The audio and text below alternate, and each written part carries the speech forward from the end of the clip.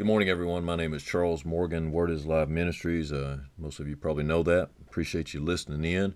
And uh, I am so thankful for all the people that I meet that uh, tell me that they listen and uh, that they appreciate it. It's It's been amazing. We took a trip to Minnesota. We got some people that listen up there.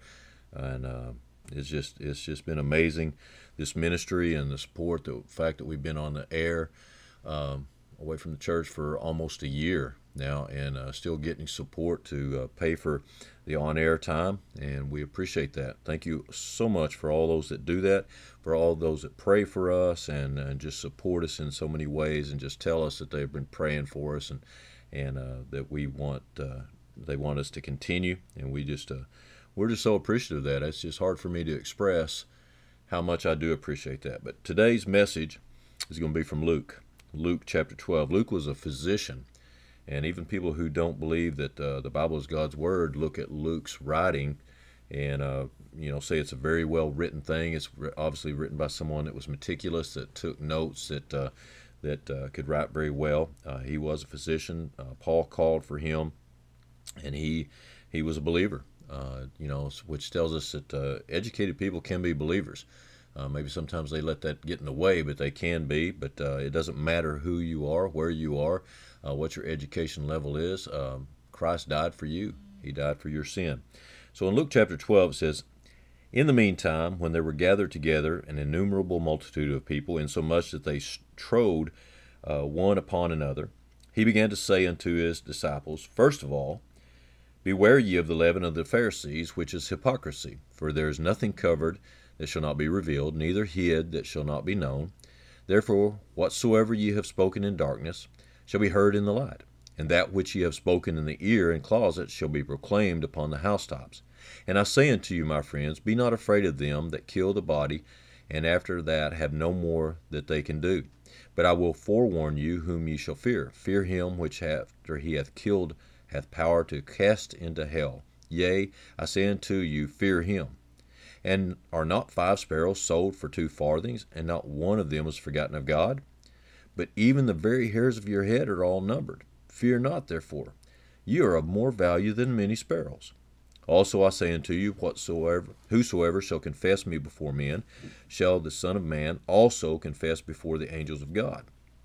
But he that denieth me before men shall be denied before the angels of God. And whosoever shall speak a word against the Son of Man, it shall be forgiven him, but unto him that blasphemeth against the Holy Ghost, it shall not be forgiven. And when they bring you unto the synagogues and unto the magistrates and powers, take ye no thought of how or what thing ye shall answer, or what ye shall say. For the Holy Ghost shall teach you in the same hour what ye ought to say. All right. Now I'm going to read a little bit in Matthew too, uh, because this uh, relates the same thing. But I'm going to tell you that the, this this sermon came to me as my wife and I were sitting on our deck, and, and we were watching the hummingbirds. And I, I, I just have a confession right now. I love watching hummingbirds. I just love them. My uh, kids gave me a hummingbird feeder for Father's Day. I hung it up, and I have just been watching them and enjoying them.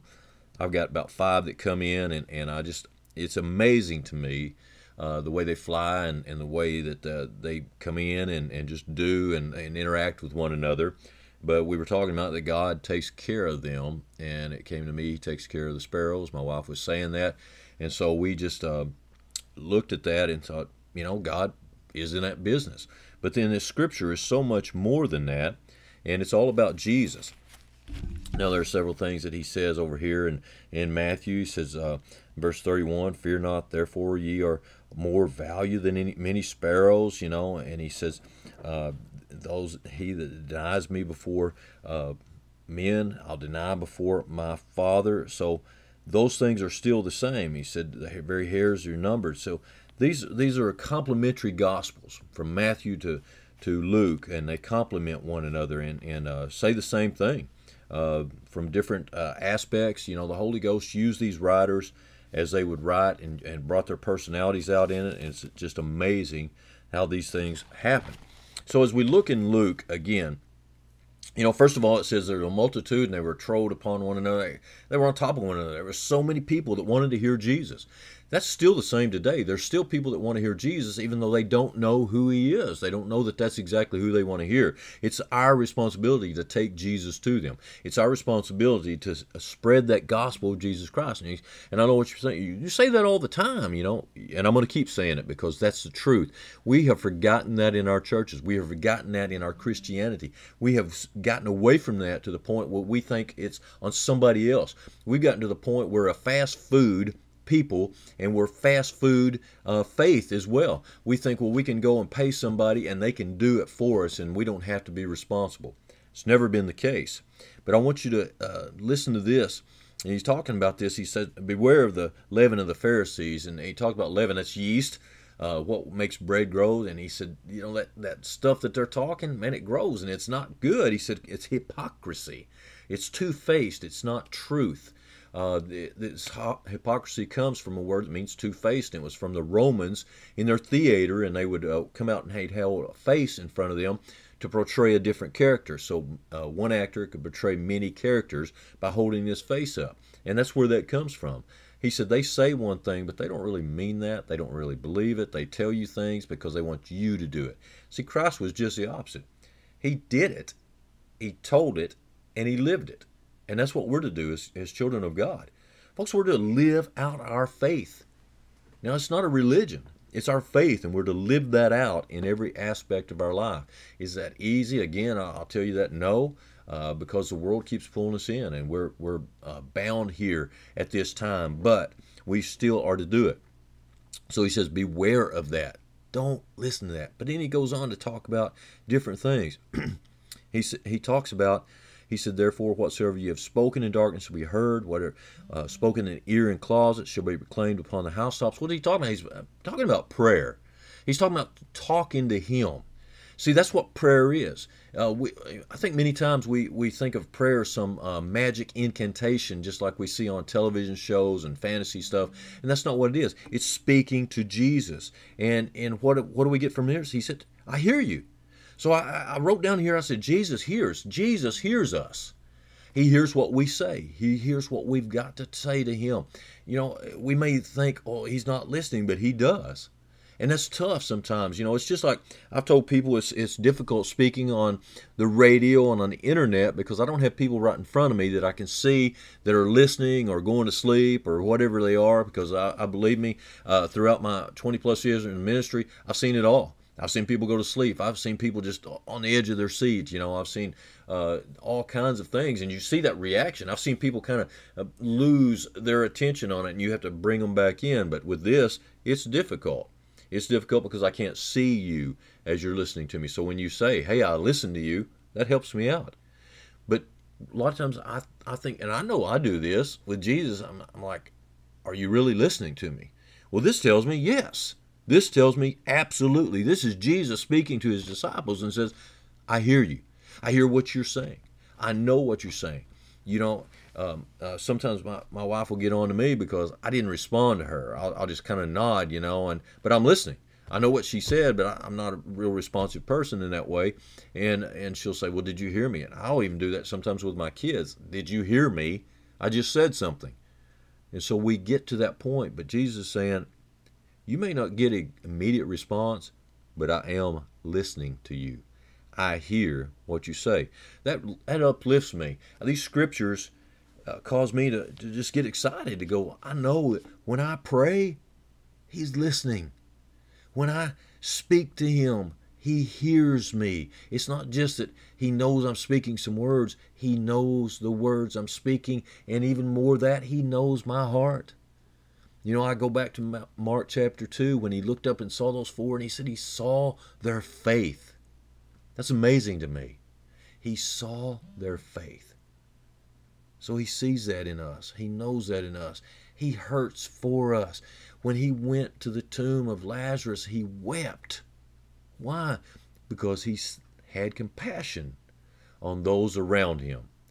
He had compassion for those. So much so that it said Jesus wept. Shortest verse in the Bible. Uh, you know, John 11, 38. And, and people know it, but why did he do that? Two words. Because he felt for them. He had compassion on them, even though he knew I'm going to speak and he's going to come forth. But he felt with them. See, it wasn't just sympathy, it was empathy. And there's a difference. Empathy is you feel for that person. And so that he did that. Jesus hears you today. If you cry out to him and you tell him, Lord, I want to be saved, I want to accept that free gift of salvation because I know that all of sin and come short of the glory of God. I know that wages of that sin is death.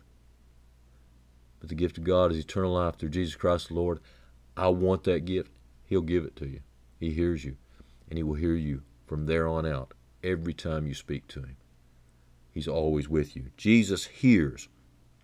And he said, he goes on to say, uh, don't don't be afraid of those that can just kill the body. Folks, I don't know what trouble is going to come in, in, before Jesus comes back. I know it says perilous times. I have no idea. Don't know when it's going to happen. I see the things unfolding, and I say that really looks like it. But I, I know that uh, you know um, people have told me that in times past, you know that they thought this. Uh, uh, they thought Napoleon was the Antichrist. They thought others were the Antichrist, and felt like this was the time. We don't know that time. Uh, we can look at these these signs and say this this has got to be it, and and I really feel like you know we are very close. Uh, and I know one thing, and I've said this before: we're closer today than we were yesterday. But we're supposed to continue on and act as if we're working for Him every day, as if we know He's coming back, and we understand that, and we're ready for that. And we got to tell others about that. But He said, don't worry about those. Worry about the one that can do something beyond the, the physical body. Folks, we need to be about his business. This is serious business. It's life and death. You know, that person you meet is teetering on that. You need to tell them about life. Jesus said, I am the way, the truth, and the life. No man comes to the Father but by me. We need to we need to take that to him. He said, and then he goes on to talk about sparrows. sparrows are little bitty birds. Uh, they were brought to this country and you know shouldn't have been. I mean, they've been prolific. they, they go everywhere, uh, make a mess everywhere they go. But they're they're very little birds, uh, and that's what brought me to that with the hummingbirds. I mean, they're so small, and yet God provides for them. You say, well, you put the feeder out. God provided for all of it. Somebody gave me the feeder. We've got the water in there. You know, God provides for them in many ways. If that feeder wasn't out there, they'd still be provided for. God values us. That's what he says. He said, The sparrows are so small. He said, But you're greater than the sparrows. You know, where Matthew says, You're more value to me than these sparrows. He said, The very hairs on your head are numbered. And I, I always make this joke because I always look out and I see somebody, you know, some man that's lost most of his hair, and I say, Well, you're making it easier on God. You know, uh, so it's it's funny. So if you're a bald man out there getting mad at me, it's it's funny. Um, God knows that. What does that mean? He knows everything about us. He knows us so intricately. And it's much more than the sparrows. He said, I value. Jesus values you. He died on the cross for you. That's how much he values you. He gave himself on the cross. You say, well, I thought that they nailed him to it and they killed him. He gave himself up. He was the only one that could do that. See, the high priest was responsible for making the sacrifice every year for the people. And he would make atonement for himself, and then he would go in and make the sacrifice for the people. He had to make that atonement because he didn't measure up either. So he'd make atonement for himself so that he could be worthy at that point to go and stand before God and make this sacrifice. Jesus Christ was worthy. He didn't have to make atonement for himself, he was sinless. He already was atoned. He was already sinless. He had lived that sinless life. So he brought himself as that sacrifice, and he did that himself. He cried out, It's finished. In the Garden of Gethsemane, he said, If there's any other way but your will be done, he knew what was going to be about. And in that physical body, uh, he felt that anguish, but yet he did exactly what he's supposed to do. And so he gave that free gift to you. That's what it is today. It's a free gift. The gift of God is eternal life through Jesus Christ our Lord. He is the only one. We need to tell people about life. We need to tell people that Jesus values them. We can look at people and we may say, well, they're not worth it. Well, neither are we. Neither are you. Neither am I. None of us are worthy for salvation. That's the reason it has to be a free gift. We can't work our way. There's no way we can do what we should in order to get saved. If we could do that, Jesus Christ wouldn't have had to come. We cannot live a sinless life. You say, well, why, why should we even try? Because it's worth the try. It's worth the attempt to be like Christ, to do everything we can, to know that even when we mess up, we can take it to Him and say, Lord, forgive me. I want to repent. I want to turn away from that. He values you. You were so valuable to Him, He died on a cross for you. He didn't die for the sparrows. He didn't die for the, the uh, wolves out there. He didn't die for any other animal. He died for his creation, the one he created for fellowship with him because he wants to have that fellowship again. And he gave the free gift. He told Nicodemus, he said, For God so loved the world that he gave his only begotten Son. The world, everyone. He died for you. Jesus values you more than the sparrows. I want you to understand that today. I want you to know it in your heart, in your mind, everything about you. I want you to understand. If you haven't got that free gift of salvation, I want you to accept it today. Say, Lord, I know I'm a sinner. I don't know everything about the Bible. You don't have to. But I know I'm a sinner. I know that what I've done is not working. I know that, that free gift is eternal life. I know that it says, Whosoever shall call upon the name of the Lord shall be saved.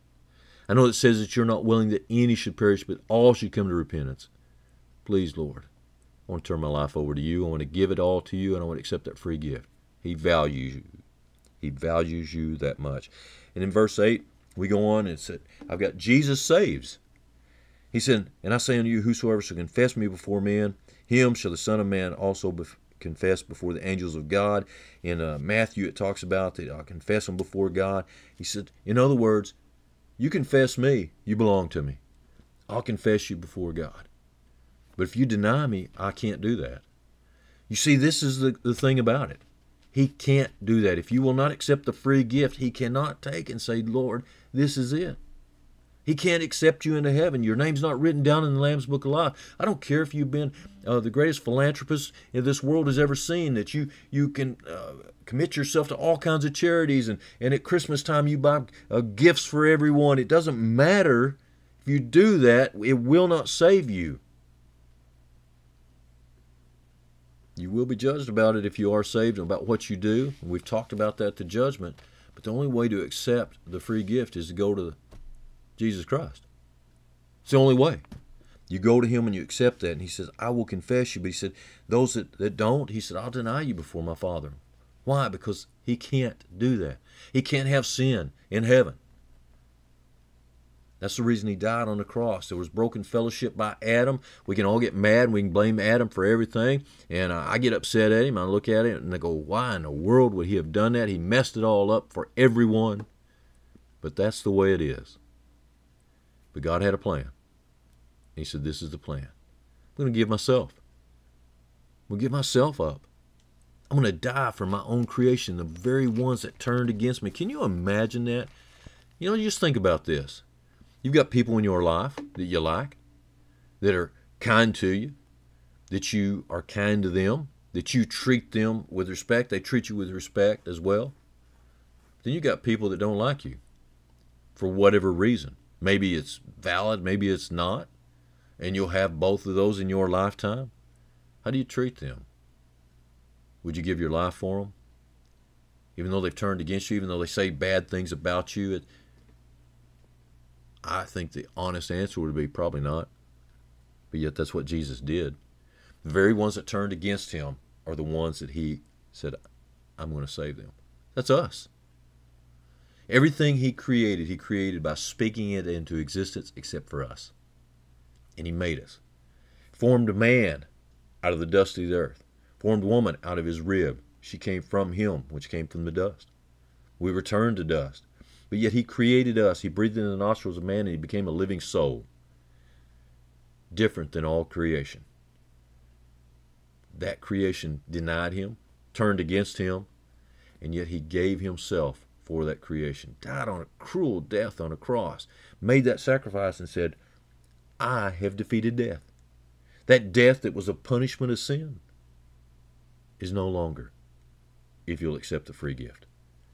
Jesus saves. He saves us. He says, I will bring you to him. But he that denieth me before man shall be denied before the angels of God. He said, you know, he said, if you deny me, I won't know you. You know, Matthew, he talks about that. He said, Depart from me. You work iniquity. He said, I never knew you. That's a sad statement. Very sad, and we don't want that for you. We don't want that for anybody. We, as children of God, should never want that for anybody in our life. We should always want them to get saved. We should want them to accept Jesus Christ as their Savior. He said, Whosoever shall speak against the Son of Man, it shall be forgiven him. He said, I can take it. I can take it. But in him that blasphemeth against the Holy Ghost, it shall be not be forgiven. The Holy Ghost is the one that draws you in. When you deny that, when you speak against the Holy Ghost, you don't have to say it audibly, but you say, I don't want that free gift. That's the one. It won't be forgiven. When you don't accept the free gift of salvation, you don't get into heaven. That's all there is to it.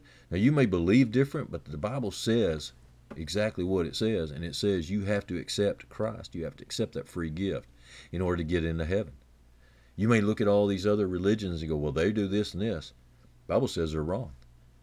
Why do you think there are converts coming out of those other religions? Then once they get the Bible in their hands, they go, I don't know why no one ever told me this. See, they're false. They're misleading people. If they're not about Jesus Christ, they're not about the truth. Because he said that in John 14, 6, I am the truth. I'm the way. He's the only way. The way. I am the truth. You know, we look at our world today and we say, well, what is truth? Mankind twisted. Why, why is murder against the law? Because the Bible says it's wrong. Why is stealing against the law? because the Bible says it's wrong. Why is blasphemy against the Holy Ghost wrong? Because the Bible says it's wrong. You see, all these things are laid out in the Bible, but yet we got people that want to deny it. They want to twist it and they want to say, well, yeah, I know it says that, but we've evolved since then. We haven't changed a bit. We may have new gadgets, but mankind has not changed a bit. You take away all the new stuff we've got, all the uh, technology, all of that stuff, people are still just people. You read what go, was going on in the Bible, what was happening in the Garden of Eden, people have not changed. We are still the same. We are still the same. Jesus saves, but it's on his terms, not ours. And that's what it boils down to. Too many people, and maybe you're one of them. You're out there, well, well, me and God, me and God. You know, we we uh, had this conversation. I've had people tell me this. I had a conversation with God. Me and Him came to terms. No, you didn't. You either accept his terms or there are no terms. You know, and I, and again, I've had so, so many people tell me this. Well, I made I made a, a deal with God. No, you didn't. You made a deal with yourself, and you may have made it with Satan or one of his demons. Whoever you were talking to, it wasn't God, because the only way you can come to God is to come to Him and go, I don't have a deal. I don't have anything to bring to you. I don't have anything that I can offer. Lord, I have nothing at all. And I know it. I know because the Bible says all have sinned and come short of the glory of God. Every single one. And the only thing that I've earned is death. And I don't want that.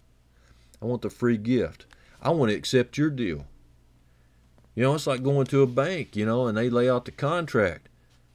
If you don't sign your name on the line, you don't get it. If you don't accept their terms and their interest rate, you say, well, I can negotiate it down, but you still have to accept whatever they put on that paper. You have to agree to it. And you can't later on go, you know what, I didn't really agree to that. Well, then you never agreed to it in the first place, did you? See, a lot of people are that way. They say they say they got saved, but they never did. They never truly accepted the agreement. They may have got their name on a roll book, but they are not saved. You may be one of those people that never truly accepted the free gift. You've been going about living a lie and you know it. You say, Well, you're pretty harsh. No, I want you to get saved. I want you to know that. If you're not living a life for Christ, you got to wonder why not. If you don't value Christ's people, if you don't value Christ's church, if you don't value Christ and that life that He has given you, why not? Why not? Now, I'm not telling you you're not saved. You have to decide that. But if you are saved, you ought to rejoice in it and know that Jesus hears you, He values you, He saves you, and then He protects and provides. Listen to this. He said, And when they bring you unto the synagogue and unto magistrates and powers, take ye no thought how or what thing ye shall answer or what ye shall say. Now, we don't think about this a lot because we're not getting dragged in front of people, but what if we were? What if you were dragged? What if somebody comes up and talks to you and says, Hey, I don't believe in this stuff? What are you going to say? He's saying, take no thought for that. Why? Because he's going to provide. It says it right there. For the Holy Ghost shall teach you in the same hour what ye ought to say. He's going to give you those words. How do you do that? First of all, you accept the free gift. You accept what the Holy Ghost has provided for you. You take that. You are indwelt with the Holy Ghost. You live after that. You have a relationship with Christ. You speak with him all the time so he can hear you and know he values you, know that you're saved. And when those times come, you say, I need some help. Lord, give me some words. Give me something to say. Give me those words that would do the most good here, that would not harm you.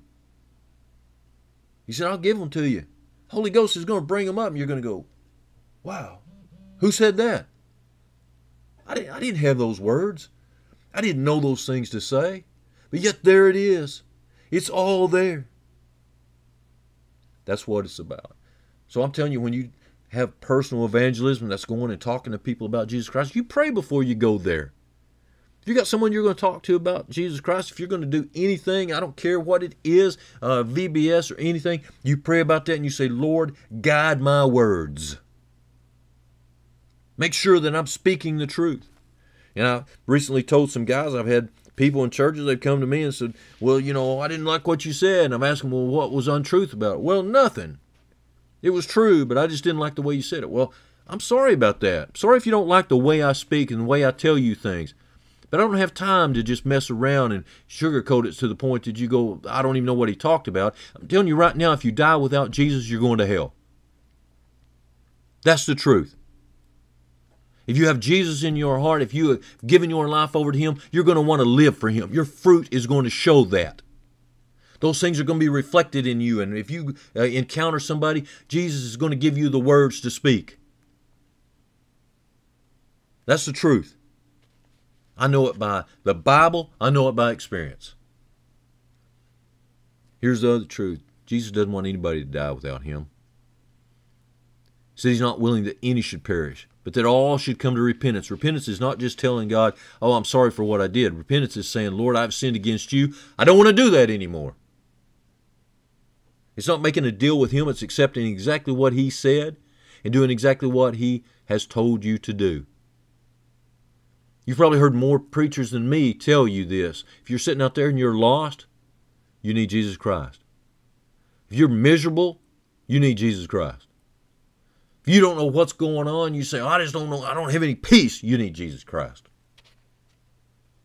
You need Jesus Christ in your life. And I know there's people that listen to me right now that are lost as they can be. You need to accept that free gift of salvation. Say, Lord, I do accept it and I want to go to heaven. I don't want to be denied because I didn't do the things I should, which is there's only one, and accept the free gift. You can't work your way into heaven. You can't be nice enough. You can't be kind enough. You can't give enough money. He gave it all so that you could have that free gift. On the cross of Calvary, he said, It is finished. That means he did it. That means he finished it. He did everything he had to do.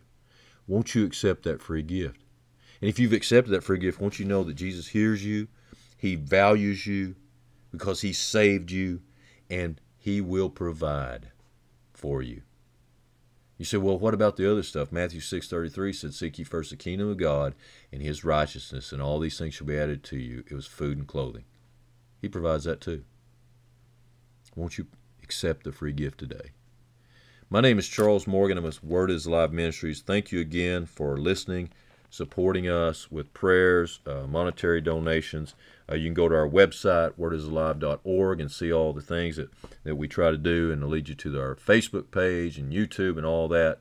I thank you so much for allowing me to be with you today. Hope that your life is blessed, and I hope that you will accept Christ.